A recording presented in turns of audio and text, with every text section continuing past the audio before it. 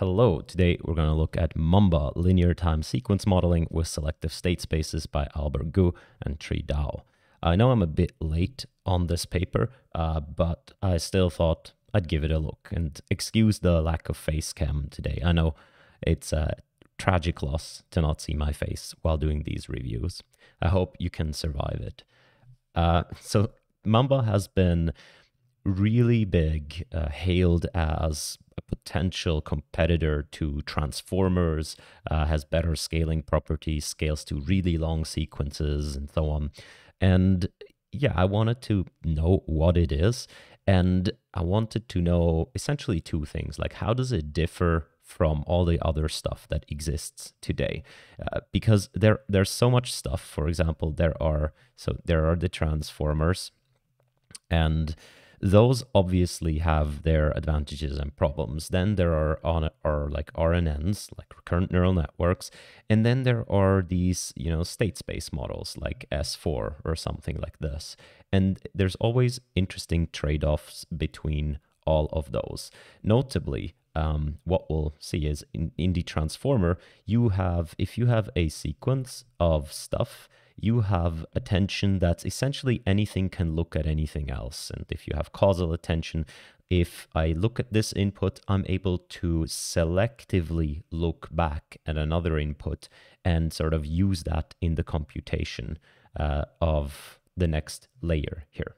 Okay, so a transformer is able to dynamically and selectively look at individual elements of the past and address each one individually.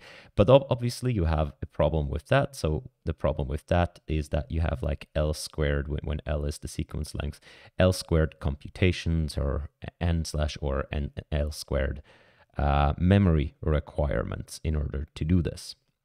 RNNs, on the other hand, if you have a sequence there, they, if you consider this um, this particular input and you want to compute the next layer, you can only look back one time step.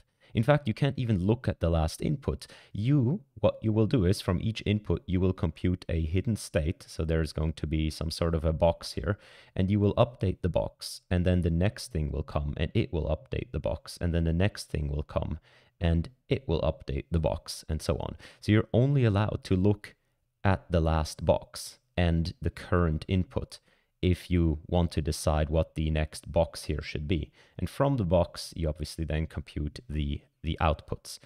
So this is super restrictive in that you can only ever look at the last hidden state and the current input in order to compute the current output and the next hidden state.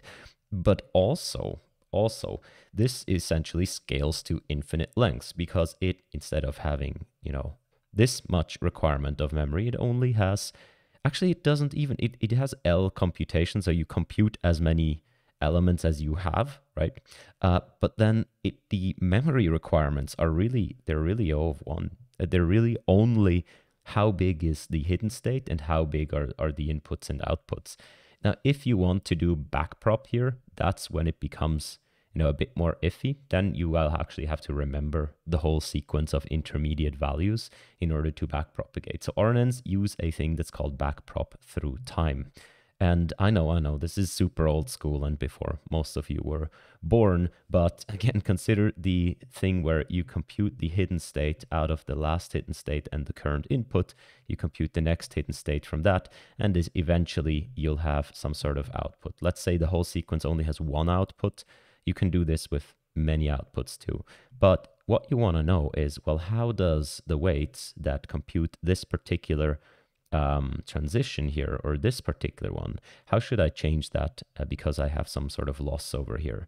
Well, you need to backprop through all of these computations. So through all of the computations that generate the hidden states from each other and then back through this computation in order to do that. That's called backprop through time. And because you you backprop through so many time steps, this is often either prohibitively expensive memory wise, or you'll just get this vanishing or exploding gradient problems because essentially uh, you have operation upon operation upon operation, which are often multiplications. The solutions to that are things like the LSTM um, that have built in gating mechanisms.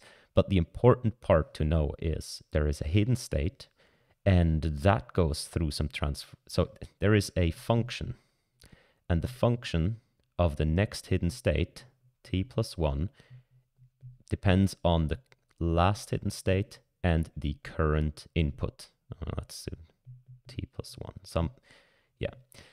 And this function here, it can be pretty much anything. In an LSTM, it's a complicated gating thing. In a simple recurrent network, it's just I multiply the last hidden state by some weight and then this by some weight. But it is a, and then, uh, and then I add a nonlinearity or something like this. Now, what about the this S4 type of thing? And that's where this paper starts off. This paper starts off by saying, "Hey, look at these these uh, state space models. They've been pretty. We, have built some of these, and they have some nice properties. What are those nice properties? The nice properties are that they essentially are an RNN, essentially, but when they have a sequence." and uh, a sequence of inputs, they can essentially compute all of the outputs, if there are multiple outputs, or that single output over here, in one swoop. So they can essentially compute it like zoom um, in one big swoop. And so if they have all the inputs, uh, they can just formulate this as a convolution operator. And there are multiple reasons why that's the case, but um, two main reasons. First reason, there is no nonlinearity going from the last hidden state to the next hidden state. Right. So that this this is a completely linear uh, transition, if you will. Uh, um, we'll we'll go a little bit into what I mean by this. Obviously, here um, here some kind of x is coming in, and that doesn't necessarily need to be linear, but sort of the backbone of this going through time from hidden state to hidden state are linear computations. Um, so no nonlinearity involved in that. What does that what that will mean is that essentially the whole this whole path here, this whole backprop through time thing is going to be at least a path that goes back the hidden states until it, you know, branches off into the individual elements.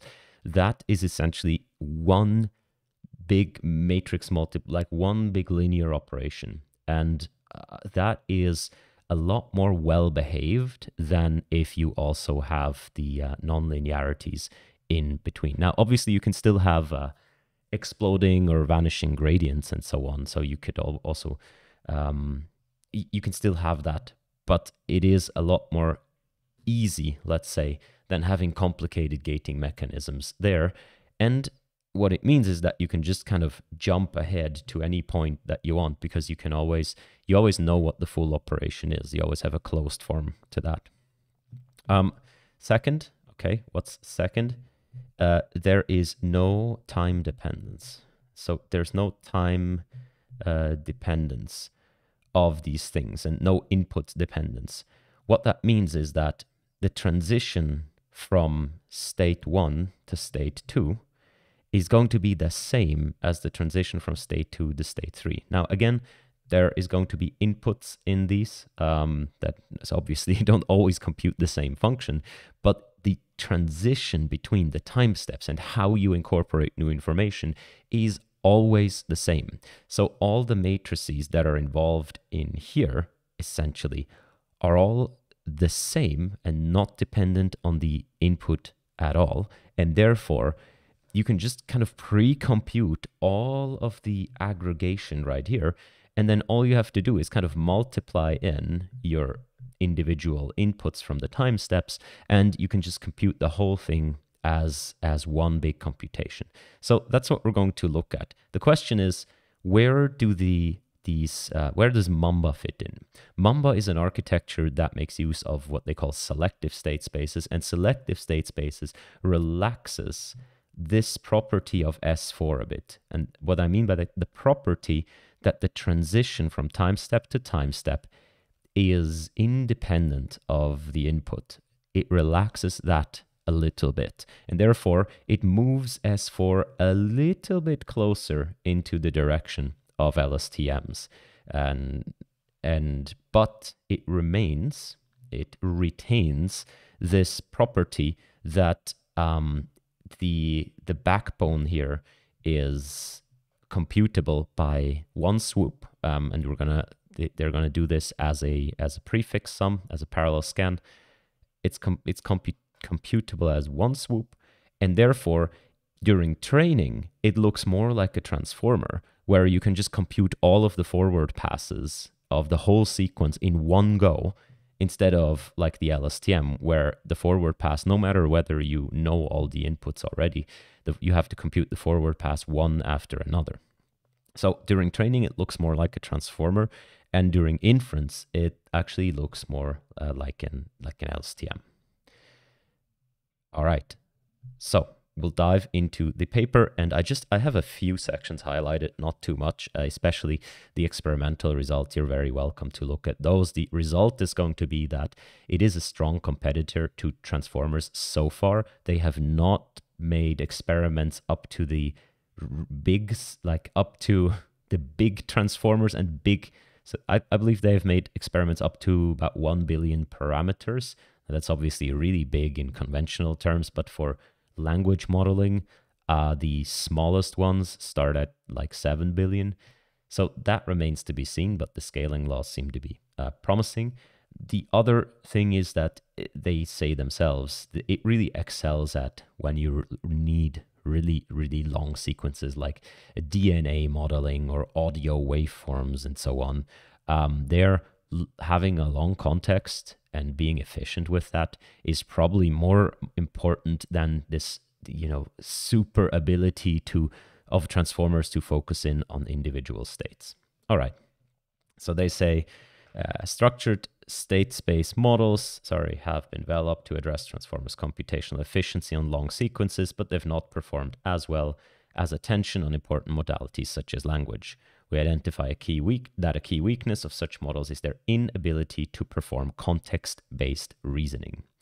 What does that mean? They say we propose a new class of selective state space model, right? The selective is the difference instead of the structured, that impo- improves on prior work on several axes to achieve the modeling power of transformers while scaling linearly in sequence length. So they say a key ability, key limitation of prior models, the ability to efficiently select data in an input-dependent manner. Again, what does what does that mean? You have a previous hidden state, you have a current input, and you want to build the next hidden state, t plus one. What structured state space models do is they have they, they'll have some kind of per, parameterized function. Let's call that A. And they'll have some sort of, uh, they'll have some sort here, let's call that B, even though like it's, it's slightly different. But, and the, the result is going to be that ht plus 1 is going to be equal to something like a ht plus bx. Okay. Again, not exact representation, but in principle this and this is in SSMs like is going to be completely fixed for the whole sequence always. So you learn one set of parameters for you know 1A and 1B for the entire model. Okay. Now th this obviously is very very different from transformers where A like the attention matrix is built dynamically at each single forward pass. You know, for each single uh, for each single token, you compute queries and keys and values, and therefore the aggregation, how you build the next hidden state, is very dependent on on everything, on the input, on the past, and so on. Uh, in this particular case, super fixed. you can see this is even more restrictive than something like an LSTM. Like in something like an LSTM, as we discussed before, what you can do is you can make this and this actually dependent on the last hidden state.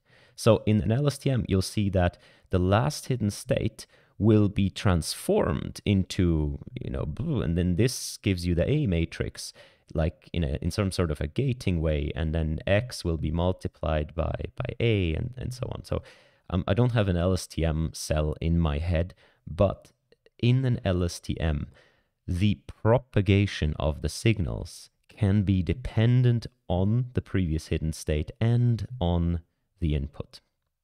Okay, and and that's the difference uh, between the state space models and like the fully like general recurrent neural networks.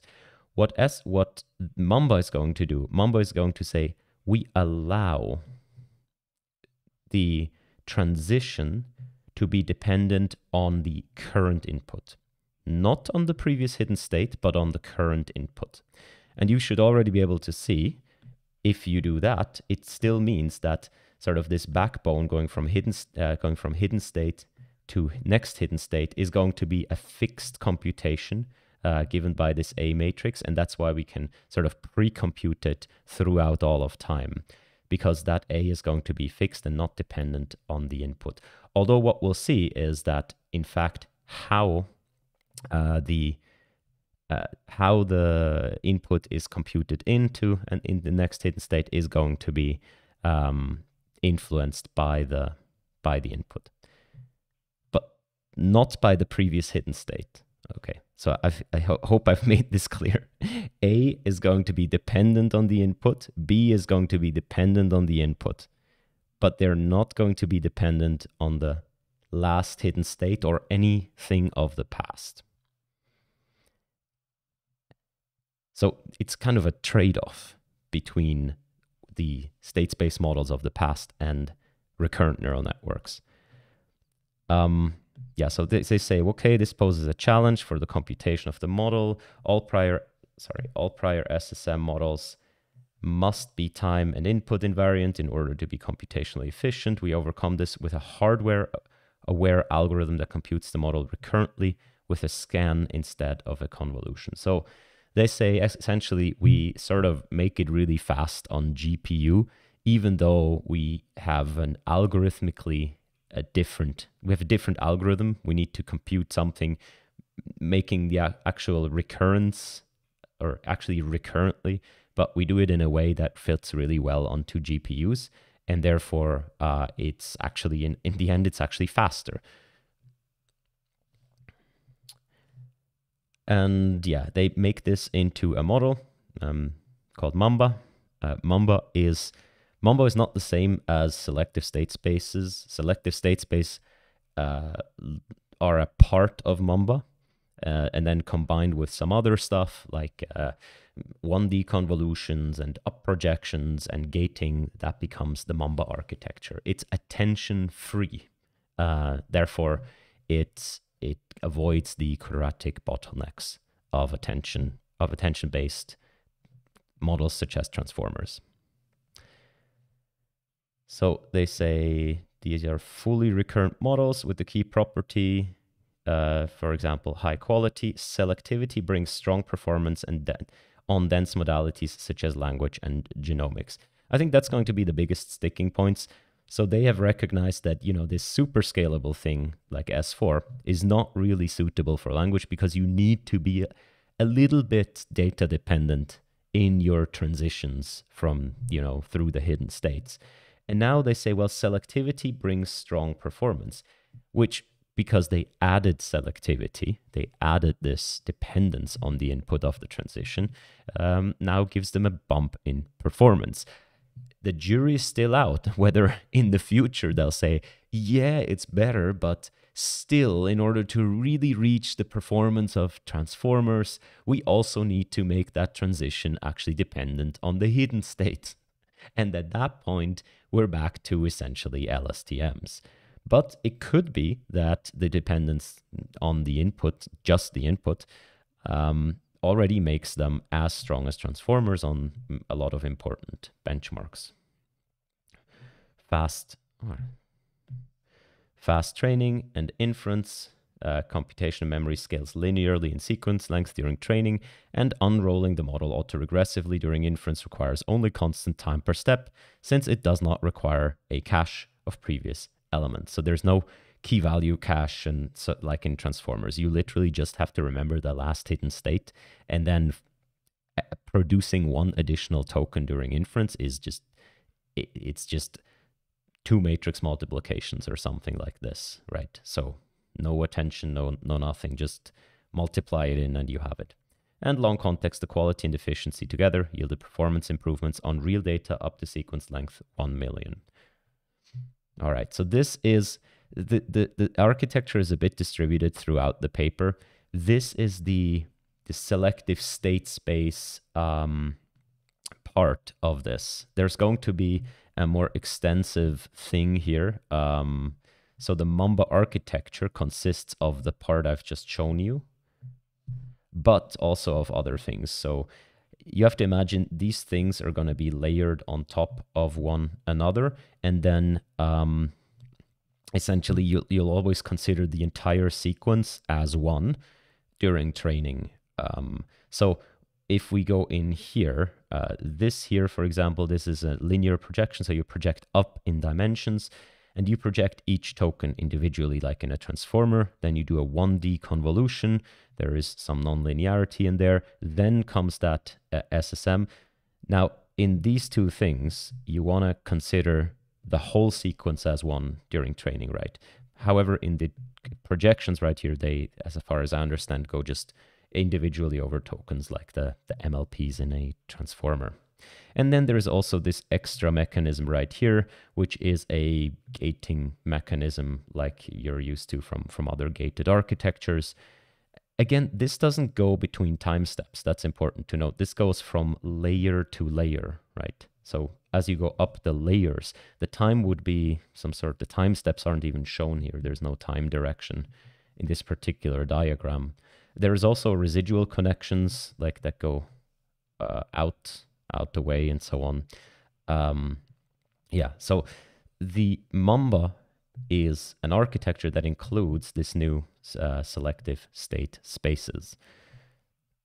That selective state space layer looks about like this. And here we now have a time direction, right? So here we now consider how do we compute um, one token in this sequence, given that we have to accumulate this hidden state uh, over time. And again, we can do this either during training, uh, where we try to compute all of them as fast as possible, or during inference, where we just do one of these time steps. So as you can see, the backbone is just going to be, we have this, we multiply, we mult essentially there is a there is a this this A matrix right here that we're going to use and there is the input that somehow comes in. And from these two things, we're going to produce that next hidden state. Now, what is all of this right here? Um, all of this is part of this uh, state space architecture. How does that look? There is a technicality in here, which is called discretization. Now, the, the theory behind state space models and, and so on is uh, was developed for continuous time systems and if you want to make them into discrete you if you want to be sort of correct you can't just uh, you can't just apply the same thing um, if you do it in the way they do it here it has some nice properties such as i, I believe your your kind of time step in independent uh, you automatically scale uh, it, the things to the correct scaling and so on. However, whenever you hear discretization, um, just you're free to also just kind of ignore it for the purposes of understanding what's going on from a deep learning perspective and from a data flow perspective. I'm sorry, Albert, if you're listening, this must be really offensive. Um, and I apologize for that. Uh, um, we can do another video where we dive into sort of into more of the background behind these models and so on. I'm maybe not the best person to explain that, mm, but we'll do our best to understand kind of what's going on here on a more high level. So you have they call them four parameters okay? These are these are matrices or vectors that just have learnable parameters. You'll use this this here is the sort of like a parameterization um parameterization no sorry discretization parameters. Uh, this here controls how one hidden state is propagated forward. This here controls how much of the input is propagated into the new hidden state. And this here controls how the hidden state is, is processed into the uh, output state.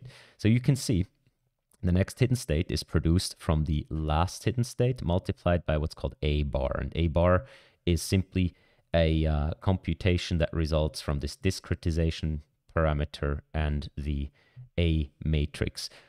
Again, don't worry, just consider, if you want, just consider this here to be a learnable ma matrix and this here to be a learnable matrix. And in that you can see from this perspective, this is a super duper simple, like the most plain recurrent neural network there is without even some any sort of non-linearity around here.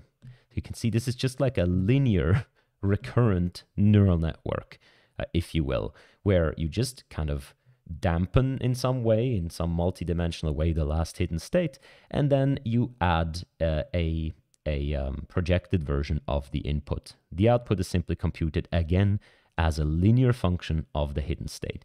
Now, since everything is linear, you can what you can do is if you actually write this out, if you actually write out, I want to compute, sorry, I want to compute y3. What am I doing? I have an eraser. If you compute y3, you can say, oh, well, that's just h3, uh, ah3 plus bx3. Oh, but what's h3? Well, h3 is just ah2. Oh, sorry, uh, y is that, that multiplied by c, right? Well, that's just ah2 plus bx2. And what's h2? Well, that's just ah1 plus b x1.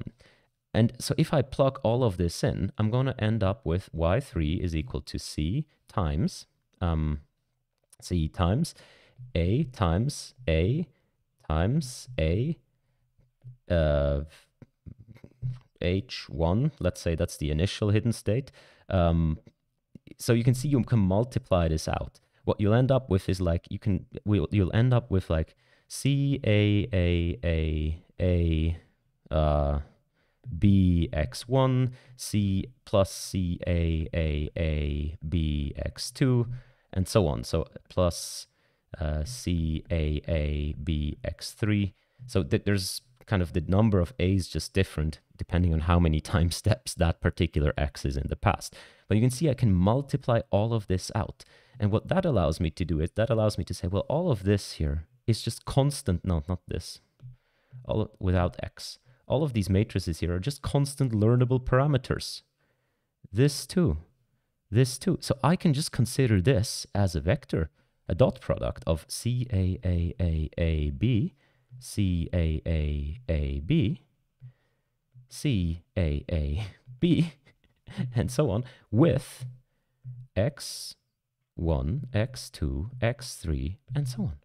And this here, I can perfectly pre-compute you know, I just after each learning step, uh, these these are just learned parameters. Therefore, I can perfectly pre-compute that. And when a new sequence comes, I just dot product it in, and I have the full output. I have the output available instantly, and that's what they do over here. So you can see they built this kernel out of this, and then they can say, well, the output is simply going to be a multiply the input as a vector by my kernel, and bada boom. I just have it all. I have it all available, right? Um, and that's and that is uh, why. And you can hopefully see that this is a convolution. Uh, so if you now if you on, not only want one output, but you actually want each of the output of each of the time steps, this just results in a convolution operation uh, that you can do. And that's why the S4s and so on were so extremely efficient because you can just compute all at the same time. All is linear, all is fixed, just Forward prop is one convolution, back prop, super easy, right? Okay, that's it. And essentially, in Mamba, we're, we're not, we're, or in structured state spaces, all we're doing is we're making A, B, C, and this delta here input dependent. That's it. That's the whole, that's the whole thing.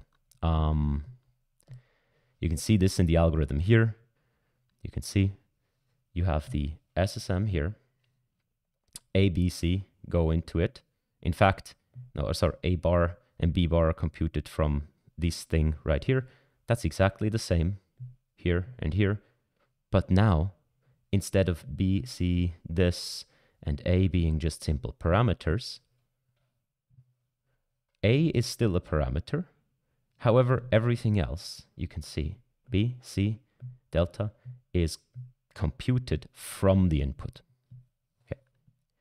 And that means it, it still means you can do the zoom thing, but the zoom thing, now you have to uh, make that input dependent and specifically, specifically, everything gains a dimension. So here, see, this has no, this is the same for each time step. This now is different for each time step, okay? Because each time step has a different input and therefore the, these things gain an extra dimension. And that's kind of bad because that makes them L times bigger than previously. So what do we do in order to make that still fast? They differentiate now between two things. GPU high bandwidth memory and what's called SRAM. So GPUs have two different types of memory. I didn't know before this paper, but they have the main memory is kind of the slow memory. That's this right here. That's high bandwidth memory, but that's slow, even though it's high bandwidth. Um, well, I guess high bandwidth doesn't mean low ping. All right, that's slow. And then SRAM is really small, but is really fast. And they realize, hey, if we want to do the matrix multiplications, these happen in this SRAM. That's essentially the cache. That's the fast stuff. Uh, the the bulk of work is actually moving stuff between the two types of memory. Moving stuff between the two is the slow thing, and therefore we've just made that L times bigger, and therefore we made that moving L times slower because the multiplications aren't that slow. It's actually moving the stuff around. And therefore, they come up with a scheme where they don't have to move uh, as much stuff. That, that's essentially it. You can look at the code, but um,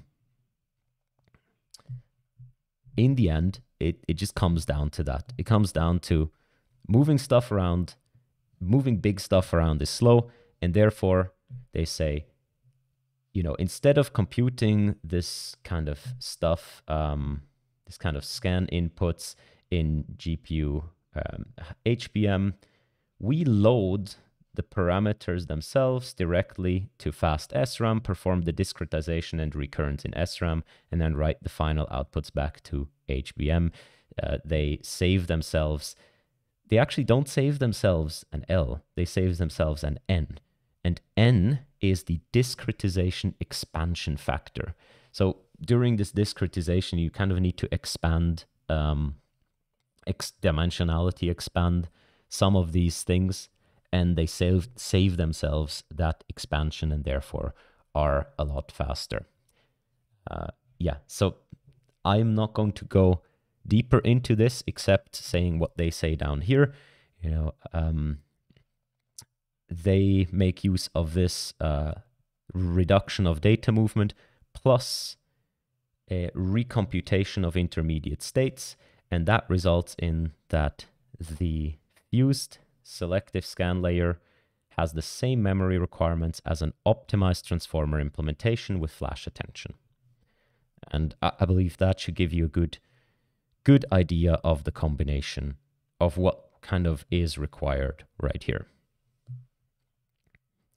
So again, they can still do the zoom, um, except now the elements are input dependent and therefore they have to do the zoom differently and they do the zoom using not a convolution because the convolution would require the kernel to be constant but they now do it via what's called the prefix sum. And the prefix sum is, and they call it a parallel scan, but it, it's essentially the thing that computes this a times a times a times b, and then a times or c a a a b, and then a times a times a times a times b, and so on. Except now, of course, all of the a's are different, right? So it's now uh, a1 times a2 times a3 times b3, a1 times a2, and also c3. So you can see all of these are now different. So you can't do like the tricks from before anymore.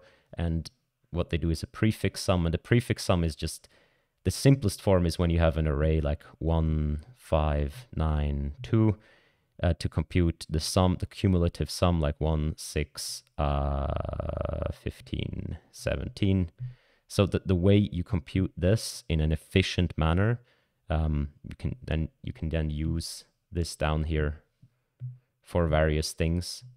It's very simple, right? And this is useful in a lot of algorithm, but to avoid recomputing a lot of this stuff, you can use prefix sums to kind of pre-compute all of the sums, or in this case, all of the multiplications of different things together, and then you can use those. And for example, if you say, uh, what's the sum from here to here, you can just subtract from 17, you can subtract uh, 6 or 1, sorry, 1, and you can say, ah, oh, the sum here is 16 without having to compute it again. Same principle goes for how they make this here fast. The scaling laws look really scaly, uh, so they the uh, perplexity in language modeling, um, and that is models trained on the pile up to 1.3 billion parameters, scales better than all other attention-free models, and there is the first to match the performance of a very strong Transformer++ Plus recipe that has now become the standard, particularly as the sequence length grows. So the jury's still out what happens at really large scales, but already at this scale, this looks quite promising. Um, DNA modeling and so on, Mamba superior to other things. Uh, yeah, because long sequence lengths are really the strength of these kinds of models. And again, we'll have to see what the exact trade off is going to be, whether we need to make the, um, the transitions input dependent or not. And yeah, you can see that uh, inference throughput on an A100 is good and actually gets more drastic and drastic as the batch size increases when you compare them to transformers. All right, they have some ablations here. Um, they say Mamba is a strong candidate uh, to be a general sequence model backbone. And lastly, I think I have one more highlighted section where they discuss the intricacies of the of the um, of their efficient implementation. This section is also good. If you want to dive deeper into this, you can go into this section, especially they discuss what they transfer, how much elements they transfer, what that costs, and so on. Uh, so really reducing that memory transfer. And lastly, you can also dive into the code here on GitHub. If you do, I invite you to look at this Mamba Simple Pi first. And in fact, there the in this code base, the same thing is going to be implemented multiple times. One time for Python, one time for GPU, and then again, one time for uh, inference, where you do things recurrently, and one time for training, where you compute everything kind of at the same time. And so you, you'll find the same code written many, many times in different ways.